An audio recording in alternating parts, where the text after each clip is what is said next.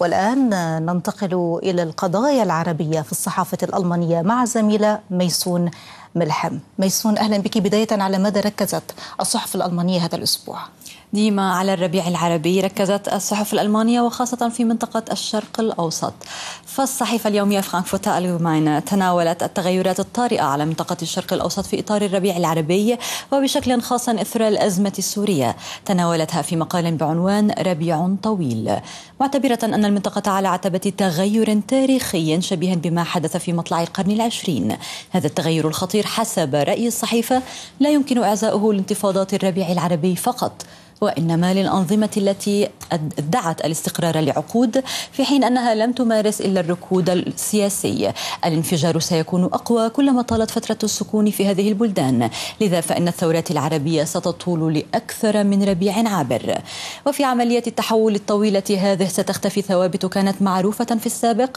المجتمعات تتغير وتصبح أكثر حرية. وبعد مرور أقل من مئة عام على الحرب العالمية الأولى ينشأ اليوم نظام جديد في المنطقة.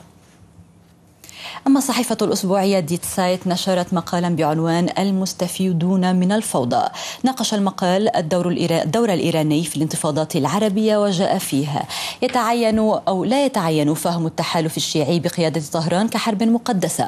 فالأمر لا يتعلق بعقائد مشتركة بل بصراع على النفوذ.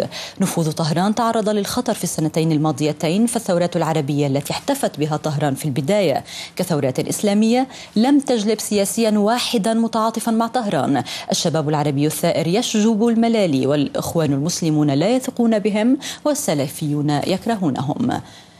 وخلص المقال إلى نتيجة مفادها من لا يقلق إزاء التحالف الإيراني عليه أن يقرر. فإما أن يخرج نهائيا من هذه الحرب التي لا يستطيع التعامل مع أطرافها أو عليه أن يقبل بأن طهران قوة إقليمية تقوم بتقسيم الشرق الأوسط وإعادة تشكيله. ومؤتمر جنيف القادم حول سوريا قد يكون فرصة مناسبة لذلك خاصة وأن الإيرانيين يرغبون بالمشاركة.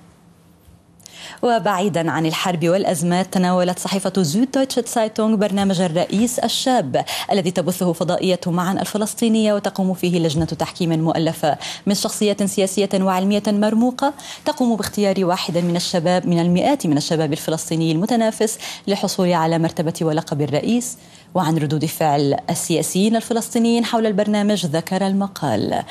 الرئيس محمود عباس الذي انتهت ولايته عام 2009 ولكنه يواصل الحكم بكل سرور أعلن, أعلن أنه يتابع البرنامج باهتمام كما أنه لا يبدو قلقا بالمرة حول إمكانية أن يقوم واحد من المشاركين الشباب باحتلال كرسي الرئاسة مكانه. حتى لو قامت لجنة التحكيم المؤلفة من رجال أعمال وسياسيين بإظهار المتسابقين بأفضل حال. كانت تلك أهم العناوين فيما يتعلق بالقضايا العربية في الصحافة الألمانية.